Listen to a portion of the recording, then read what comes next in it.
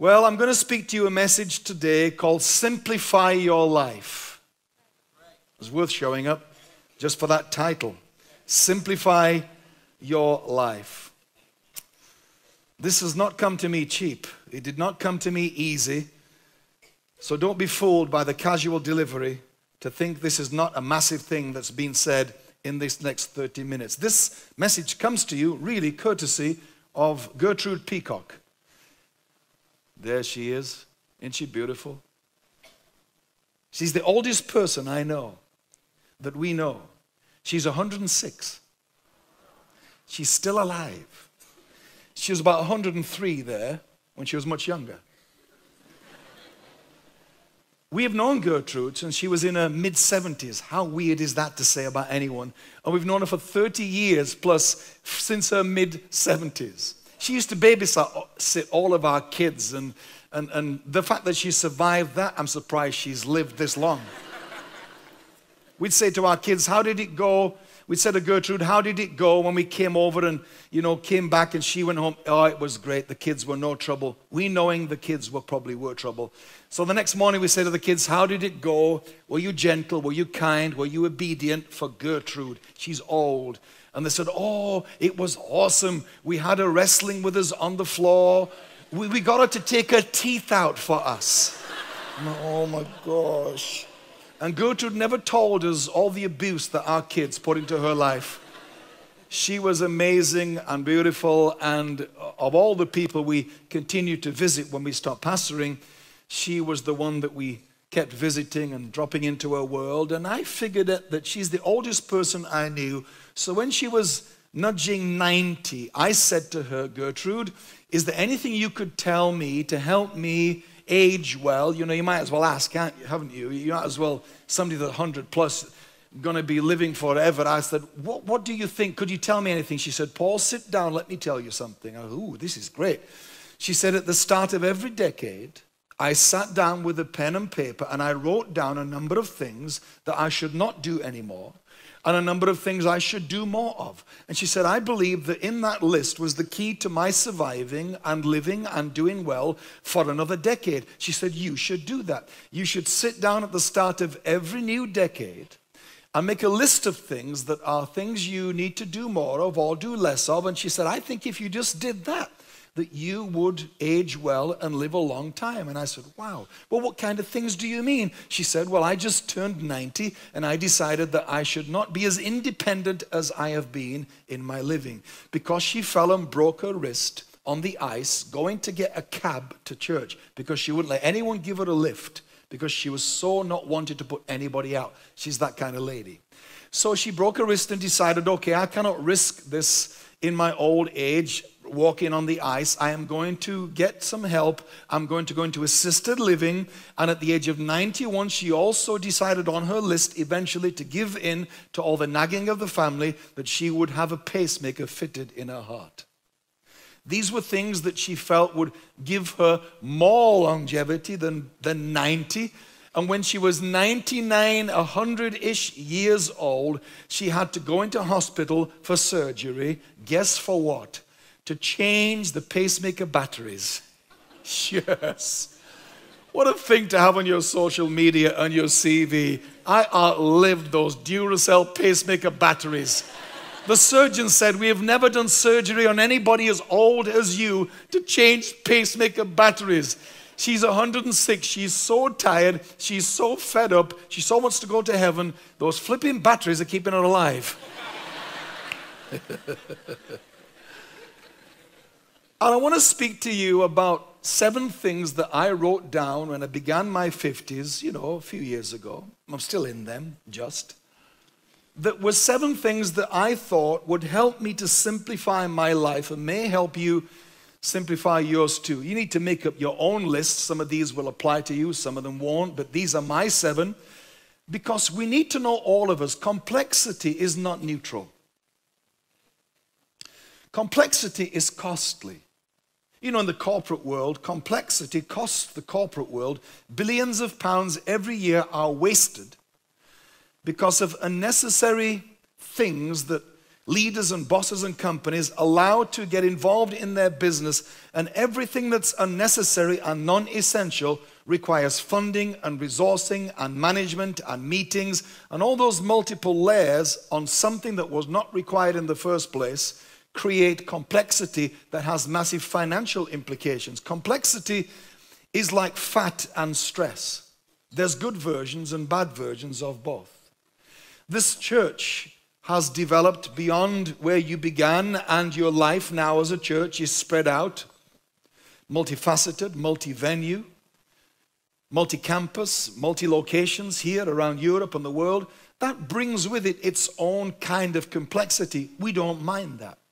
We welcome complexity in our lives that is serving our mission, our, our purpose, our vision. We don't mind that. But there's another kind of complexity that hides in the shadows of the good complexity. It's right next to it. It's so similar to it that we don't sometimes recognize the bad version from the good version. This unnecessary, unhelpful complexity that does not help your life to stay simple is what I'm after exposing and helping you figure out in your life today in this session with you. And I'm going to give you seven things. There's more, but here's my current top seven that have served me well for the last few years of my life. You all ready? All right, number one, here goes. Number one key to simplify your life reduce drama. Hello. Hello. Should we just stay here for 30 minutes? Should we just stay here? Now, in this next few minutes, as I speak about drama, everybody look straight at me. I'm on my phone already. Where are you? Are you in the room? I hope you're listening because you need to hear this. Oh my gosh, drama. Thank God someone said it. Now, I would have said remove drama, but it's hard to remove it if you're married to it.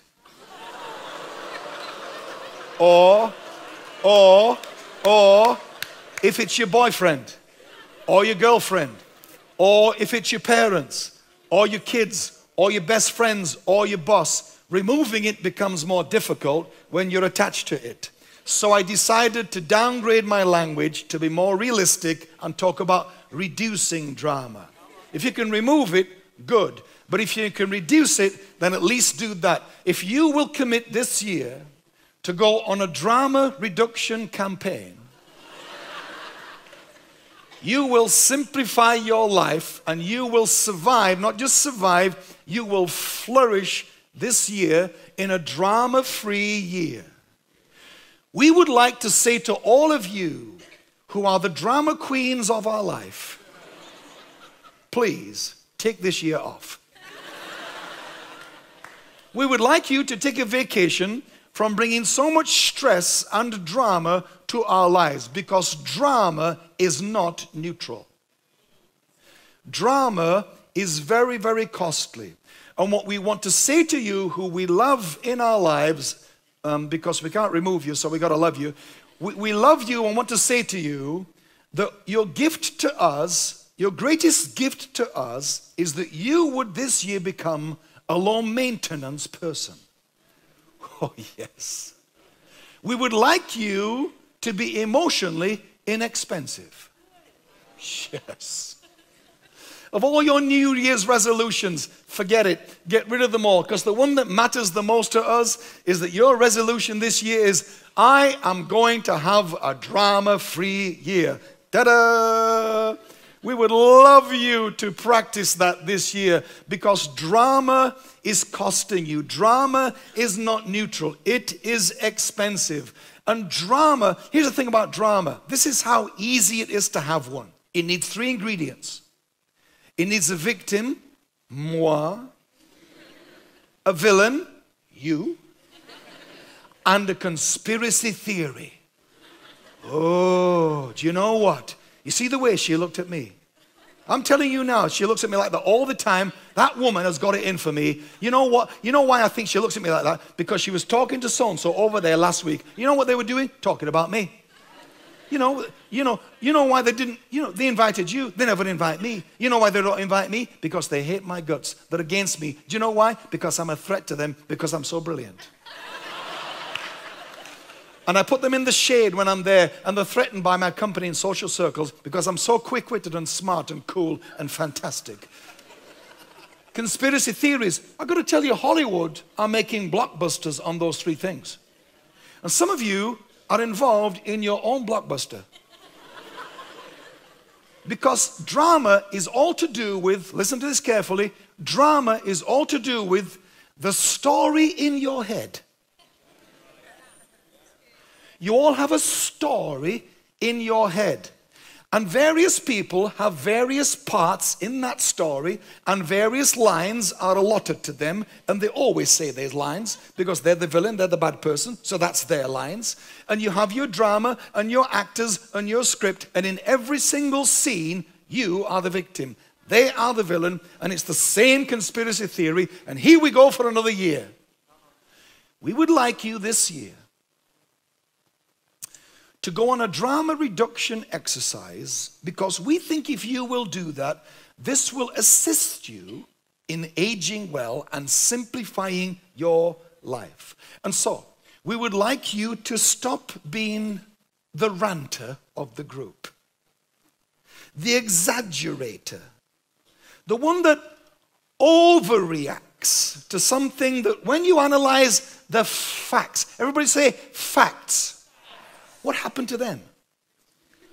Can you just calm down and can you tell me the facts? What do you mean the facts? What's the facts got to do with it? Everything. And if you could reduce the story in your head to the facts, then you might realize, you know what? Mm, that wasn't worth the drama, was it? Exactly. Now, I do not stand here myself immune from drama. I am known to have my own drama queen moments, especially if you're in the room with me when I'm trying to cancel something online. You think you're a drama free person? I dare you ring Sky TV. uh, they'll get your blood pressure up in a heartbeat. Drama TV, dr drama. Dr I, I rang Sky and I said, I want to cancel five quid off my subscription. I don't want that channel anymore. I'm not kidding you. It took me 20 minutes to get to a real person and then 10 minutes to explain to them what I wanted after they tried to keep selling me stuff which I didn't call for. You know, stuff online is rigged against you, don't you? It's rigged to lean on and benefit from our laziness. Because they know ringing is such a drama, and we have too much drama in our world that we don't bother ringing. And if millions of us don't bother ringing and it's all three quid a head, whose pocket's that going to? See? So there's a lot of money in complexity. There is a lot of money in you staying with your complexity. There is a lot of money that benefits others if you don't commit to simplifying your life. And I want to ask you this year to think about giving us the big gift of reducing drama in your world. There I said it at the London Palladium on a stage that's filled with drama normally. I know. What a place to say reduce the drama. Number two, learn to say no. N- n- no, n- n- n- I know I don't need these pair of shoes, but they're so beautiful. Oh, they suit you, they suit you. You look amazing, stunning. Oh, if I were you, hang on a minute, let me get you something else that goes with it. Hello?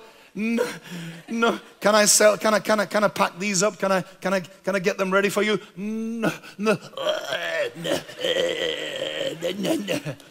You got to practice in the mirror saying, No, no, no, no, I don't want them. No, I don't need them. No, no. It's such a short word, but it sticks in some of your throats so badly. If you will learn to say no, you will simplify your life. Because I tell you something every time you say yes, but you meant no, it complicates your life. Every false yes is not neutral. Because every time you're doing something, involved in something, go somewhere, inconvenience yourself for something you should have said no to, it builds up inside you a resentment. And now you feel used, now you feel taken advantage of. But the truth is that you keep saying yes. And some of you, especially, are prone to this because you are a people pleasing person. You're lovely, but you need to get stronger this year because by personality, you, you just want to be liked and included and thought well of. So, no gets really difficult for you. You know, no is the first word we learn as kids. But sociologists tell us, and I think it's true from my own experience in life, that the older we get, the harder no is to say. Because the older you get, the more, the more there are the, the more friendship, relational, societal barriers we hit, we feel we hit when we say no. Because no, when you're older, sounds like you're not helpful, you're uncooperative, you're rude, you're unloving, you will not be understanding, you're not compassionate. So, saying no as you get older to people that really genuinely you'd like to help sometimes gets more difficult. So, we say yes and we say yes and we say yes. All those yeses pile up and complicate your life. So I decided in my early 50s, I am going to learn to get much better at saying no. I'm going to get good at saying no to people in the church who believe they're called in life to waste my time. Overfed, under-exercised Christians who want to keep coming to me, telling me their problems, and take my counsel who have no intention of changing. Go figure. Some people that have so many problems with the devil, the devil this, this is the conspiracy theory, the drama, the devil this, the devil that, here a devil, there a devil, everywhere a devil, devil.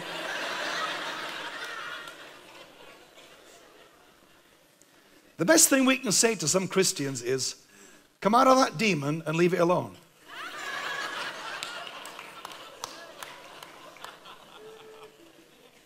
You should be on a percentage because you represent the devil so well. You're, his, you're the best agent he's got in the world.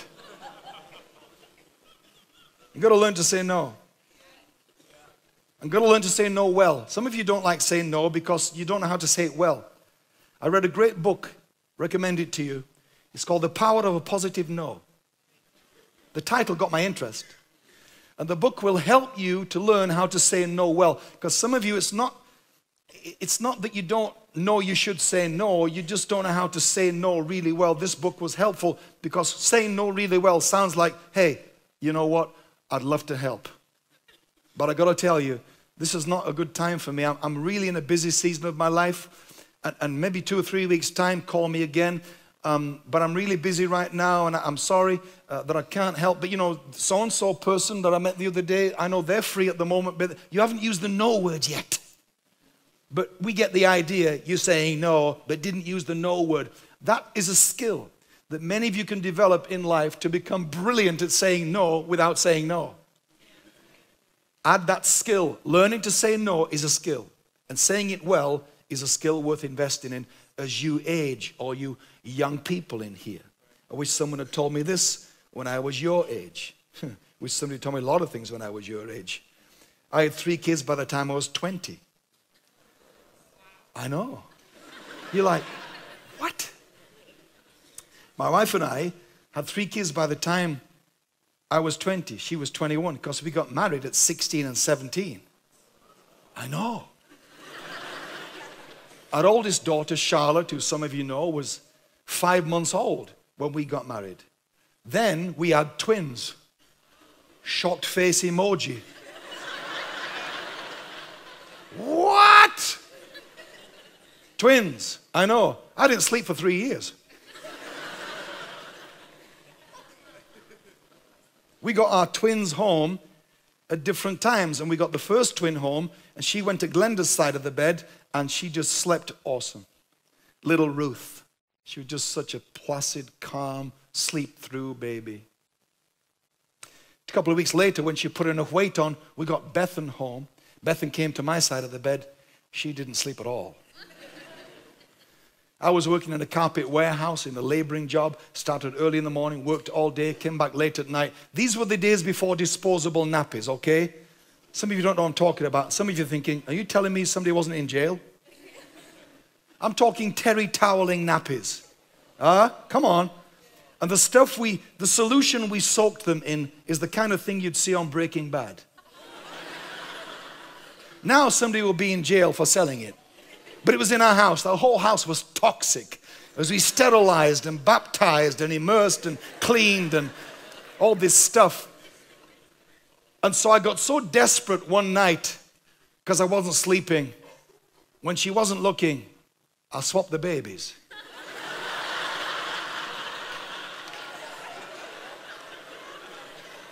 I put the sleeper at my side and put the crier at her side.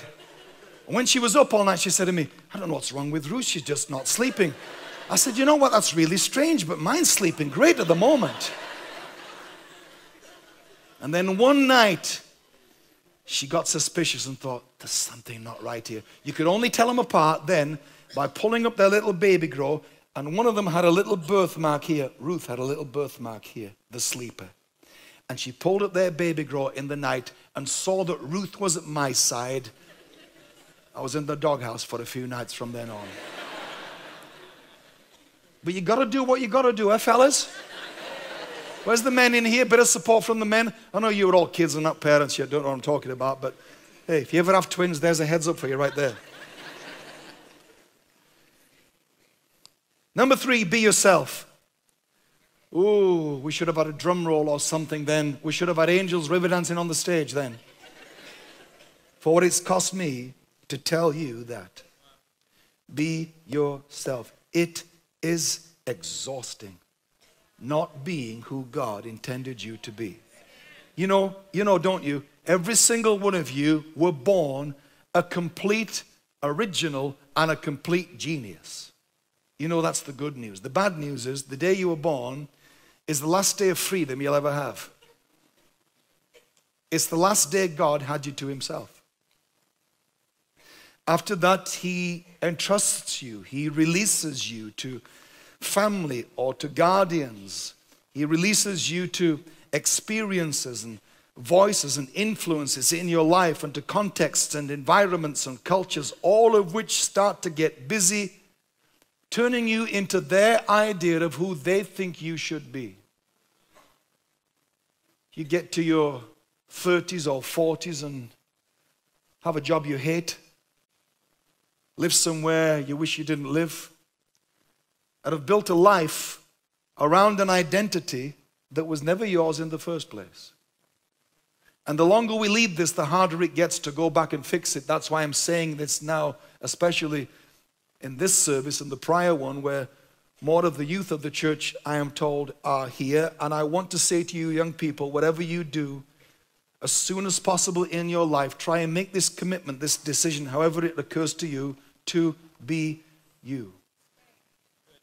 I pray for every parent that you have and every guardian, everyone that's entrusted to lead us, that they will give you room to be who God made you to be. I've got We've got eight grandchildren. The whole grandchild thing is out of control, by the way. I've told my kids, enough, no more. Because they all live five minutes from us, and we are sitting ducks. This big old farmhouse with its sitting ducks for random grandchild invasions. They age from 13 down to nearly two. There's two in the middle, brother and sister, Jonah and Sienna. He's seven, she's five. Already, these two kids are showing the potential right now that when they're older, they will be outstanding criminals. is the best thing I could think they should do with their lives right now. Because they lie and they deceive and they manipulate and they, they, they, they plan and plot together. They're geniuses. And he, he is a little bit, you know, ADD, whatever you call it, but he's got a forensic memory. He, he's genius on Minecraft. He remembers numbers. He's got, a, he's got a photographic memory for numbers. I said to his parents, listen, whatever happens, you owe me this, at least this. When he's 20, I'm taking him to Las Vegas. huh? Just a weekend in Vegas, my little rain man, I call him. You owe me at least that for all the free dinners I've given him and the babysitting nights we've done. His sister, called Sienna, she has a different problem. It's called being a diva.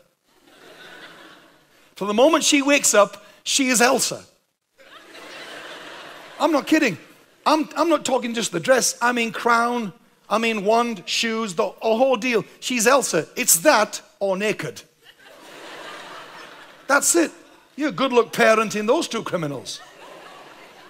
When I think of Sienna, the word that comes to my mind is unreasonable. Taking her for a walk is a nightmare. She won't hold your hand. She won't cooperate. She walks where she shouldn't. She sits where she shouldn't. She sits down in the middle of the pavement because she has a stone in her shoe. Not where people are whizzing by on bicycles and all kinds of stuff. It's crazy. And I look at these kids and I say to my kids, you know, my your gift to them is to somehow see what part of that is original and unique and part of their God given flair and brilliance and try to protect that because you know what? The education system in this country is killing our kids. It is. I hate it. Even school teachers, now it's an all time low in morale amongst our school teachers who went into teaching because they loved the kids, but now themselves are enslaved to a system that's obsessed with tests and grades that tell you nothing about that kid. It worries me for my grandkids. Worries me for their, they're battling that system because it's a systemic narrow mindedness about one particular form of intelligence called academics. And the question is not, how intelligent are you? The question is, how are you intelligent? Because there are so many ways that you in here are intelligent that aren't even on the school radar, but they'll make you, they'll make you feel bad and they'll call you remedial for not being good at maths or science or history, but at the same time, they don't hand you something else back to say, but you are a genius with animals or you have massive emotional intelligence, or you are a brilliant instinctive leader, or you are great with picking up languages, they will fine you. They will slap a fine on you for taking your kids to see a whale in Alaska because they want you to look at one in a book at school. They will fine you for going to another country, being surrounded by Spanish speaking people because you missed Spanish in school or it was taught badly by someone that didn't enjoy the subject themselves. Because they're driven by trying to get a test passed for you rather than enjoying teaching that language to you. I've got to move on. Don't get me started on education. You didn't. I started myself. It was a little rant. It was a little drama moment then. I'm back in the room.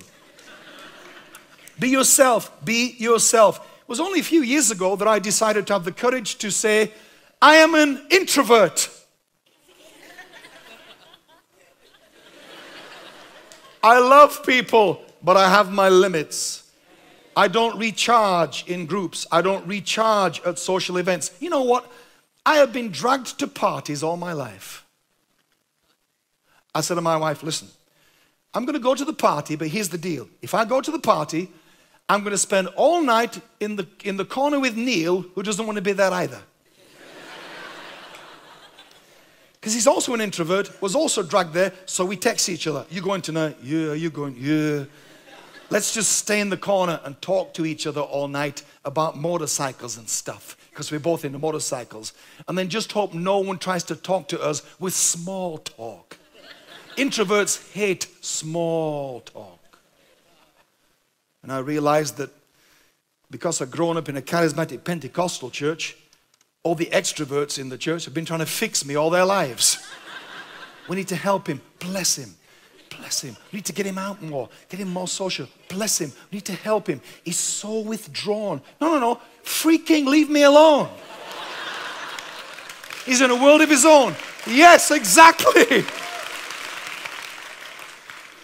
We put all the clappy, shouty people on stage. Yeah. And all the introverts are like, oh, God, I could never do that. Is that what leadership looks like? Oh, count me out. Ooh. Jesus was a massive introvert. Ooh. Bible says he often withdrew to solitary places. Party animals don't do that. they avoid them. Party animals can't stand being on their own. They don't like their own company. That's why they're on the phone texting all the time, because they're on their own on the bus for three minutes. Uh. Number four, get organized. Ooh, this is a biggie. Get organized. If you want to simplify your life, you have to get organized. You know, you young people in here, you got a big dream and vision for your life, and you've got this great idea and the destiny. Great. Listen to me. It's hard to change the world when you can't find your keys. Ah? uh, it's hard to take London for Jesus when your phone's not charged. Because you keep forgetting to plug it in. And you're on your third phone this year and it's only February. Because you keep losing them, dropping them down toilet and stuff. And the screen's cracked again because you sat on it because your jeans are too tight. Because you're committed to skinny jeans, you're a slave to fashion. So, so you ram that phone between your backside and your back pocket. It even changes the way you walk because it's so tight. And then you sat down and crack. Third one this year. Hey, Get an elasticated waist and just get over it and just get some room in your jeans because you know being disorganized is not neutral. I hope you know being disorganized complicates your life. Been late all the time. Hello. You know when you're disorganized, you spend all your life saying sorry. Sorry, sorry. I'm a bit late, sorry. Running a bit late, sorry. Be there soon, sorry. You start without me, I'll be there soon, sorry. Yeah, here's my order. Order my food for me. I'm running a bit late. Sorry, sorry, sorry. I'm so sorry. Hey, everybody, I'm here. Sorry, I'm late. Sorry, sorry. Shut up. and, and please, just this year, maybe for us who you keep telling us you love so much, maybe show up on time. Even better, this is pushing it, I know, early. early. If you showed up somewhere this week early, I promise you, everyone that knows you never show up on time, always late, if you show up early, I promise you, they'll be so surprised they'll need medication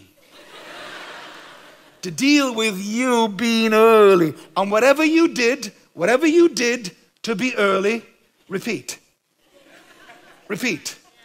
Repeat. Well, I only set off 10 minutes earlier. Aha! This is the key to becoming more organized. And being disorganized costs you money, it costs you friendship, because we get fed up of it.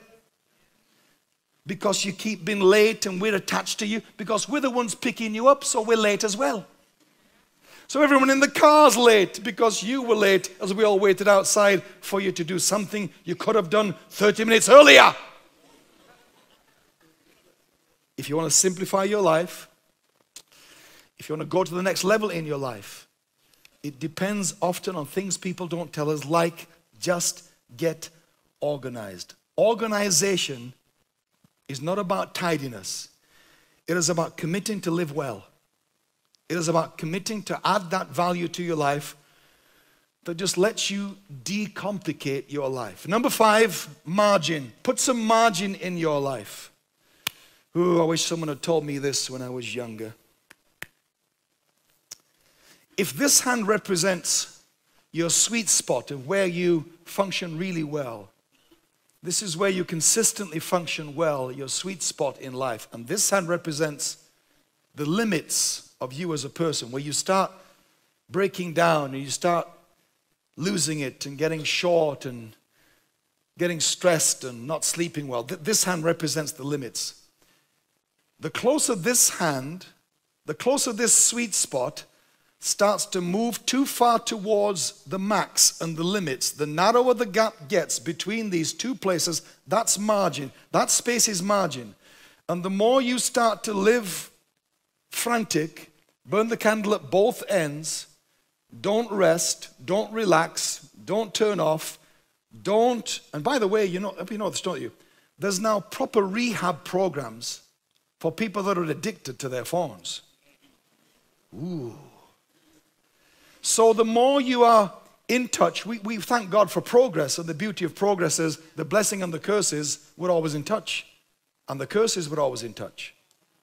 Some of you can't bear being out of touch, so you're obsessed and you're, we've said, live life to the max. That's a bad thing to tell people because that narrows the narrows the gap and you see it gets so small does your margin that now you have no financial margin because you're living in debt spending what you don't have and you've moved away from your sweet spot financially and now you have no financial margin you're always behind the curve worried about certain colored envelopes coming through the door always behind and now you've no creative margin haven't had a new idea for a long time I've not had a creative conversation for a long time. You have no relational margin. Can't fit people into your life. Can't see anybody. Can't hang out. You're always behind the curve and always maxed out. It's like driving your car down the road with all the warning lights on.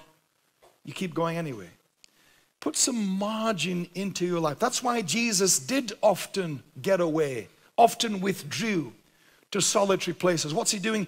He's creating margin in his life. Isn't it amazing that Jesus came to reach the world? He had three years to do it. And despite having a short time to fulfill his mission, he still stepped away from people. Because he came to heal the sick, he didn't want to become sick. And you become sick when you give too much of yourself to people and don't keep enough of yourself back that's between you and God. So you have to put some margin into your life. The band are back up here to give you hope that we've finished soon. Every service needs that hope. I've been in a lot of services where I wish the band had got up a lot sooner. I'd abandoned all hope that it would ever finish, but not in Hillsong. Margin in your life. Number six, you all okay? Learn to play. Play. Learn to play. Some of you need no encouragement about that. Learn to play. Because sociologists, psychologists tell us this is fascinating to me, and I think so true, that the older we get, the less we play, especially men. We get so busy doing stuff, get so important, we're in touch, we're needed, building our career, our life, we just stop playing. You know why? Because play has no intrinsic value at all. It is, it is not in our DNA to play because our ancestors, if they had played, would have been killed by a saber-toothed tiger. They're busy just hunting and gathering and providing. Something of that is certainly ingrained in our Western existence. You have to commit to learn to play because we don't stop playing. Here's the thing we don't stop playing because we get old, we get old because we stop playing. Did you get that? We don't stop playing because we get old. We get old because we stopped playing, because we stopped having fun, because we stopped being stupid.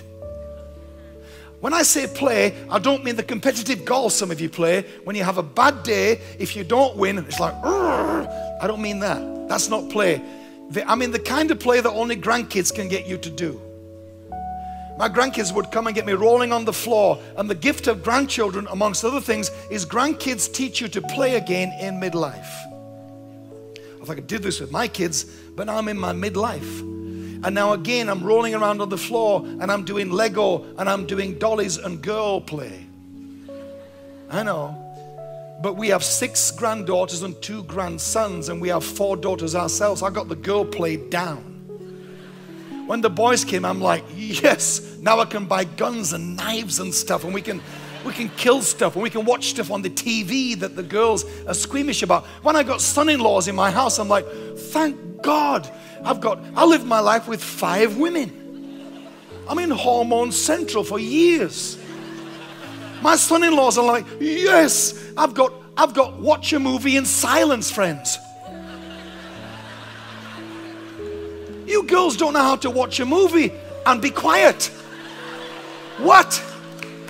Let's watch a movie. Come on, fellas. Let's watch a movie. Lights out, screen set. I invest in a nice big surround sound. Nice big TV, good. Son in laws, you're be quiet, don't talk. Yeah, come on, guys. TV on, movie. Oh, I'm like 50 minutes in. This is awesome. Not a sound, not, not, not a conversation, just nothing. I'm like, this is awesome. Yes, thank you, Lord, for these, these brothers, these band of brothers. Hang on. 15 minutes in, I feel a leg come across my lap. A bare leg. Then I'm like, ooh, now in my hand appears some massage cream from my wife that says, Well, you're doing nothing else, you might as well rub my leg. I'm like, Get lost, I'm not doing that. That's banned. You can't do that. And then it's like, Oh, somebody's opened some nail varnish across the lounge. See? Now it's turned into a spa, a girlified atmosphere. And we're just trying to watch the freaking movie. You got to learn to play. You got to learn to play. Add play into your life.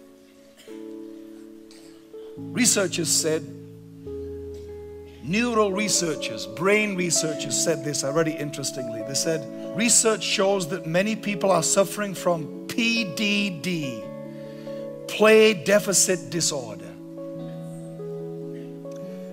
Commit to being playful. You can't, you can't you can't look at creation, can you, and not conclude that God isn't playful? I mean, who came up with a giraffe? What happened that day? What? I mean, how? How unnecessary is that neck? It's ridiculous. Who needs that? You can't look at creation. You can't see dolphins and animals playing and, and doing crazy things on these Instagrams that you follow. Um, you know, animal videos, Instagram. Oh, there you are, give them a big plug. Always animals doing crazy stuff. You think God is so playful, and yet we become so serious. And you can put Jesus down now, he can walk all by himself. He doesn't need you to run the world and stay up at night and help him to change that. You're not carrying it all. God is. He's given you room to be playful because he is playful. It is in your spiritual DNA to be playful. I got to stop because the band are getting louder and louder. Like, get off. Hello, get off. Seven and finally, manage expectations. And I'm done. You got to manage your expectations. Oh gosh. Listen to me. You cannot stop people promising you the earth and delivering nothing. You can't stop people promising you the world, over promising and always under delivering. Some people do that in your life all the time and it's killing you because they're close to you.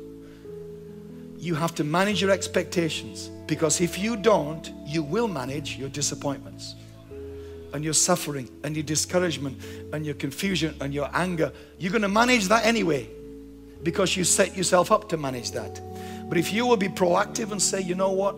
As they're promising you the world, you know what? You can count on me. I love you. No one, you know, I'll never, I'll never let you. As they're saying it to you, be saying to you, liar. I don't believe that. I don't buy into that. Great. Yeah, fantastic. And inside yourself, dial it down Put it somewhere else it realistically can be. You hand yourself a massive gift if you will manage your expectations. Expectations are a huge gift from God, but they do not come with instructions. So you have to figure out. When Peter said, Jesus, you can rely on me, I will not deny you. Jesus said, Peter, before it gets dark, you'll deny me three times. You know what Jesus did? He managed not to believe him knowing he would go to the cross alone, knowing he would die alone. And so when he's on the cross alone, he wasn't in resentment. He knew he'd be alone. Why? Because he managed his expectations to a place that he wasn't battling that on the cross. He knew that they wouldn't be there. Where this year can you take charge of your expectations and not set yourself up again for someone to take you for a ride because they overpromised yet again and underdelivered? There, I'm done. Woo! Wow. Let's stand together. Come on.